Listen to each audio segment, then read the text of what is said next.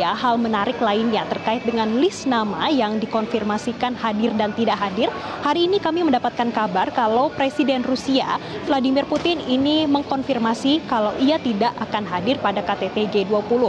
Dan sampai saat ini kami juga belum mendapatkan informasi apa alasan ketidakhadiran dari Presiden Vladimir Putin.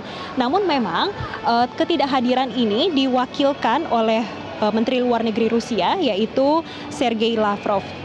Memang perlu diketahui bersama sebelumnya Presiden Joko Widodo menjelang KTT G20 ini sudah mengusahakan upaya adanya pertemuan uh, KTT G20 ini terutama ini menjadi wadah bagi Rusia untuk bertemu dengan negara-negara anggota G20 yang selama ini masih memiliki sentimen tersendiri.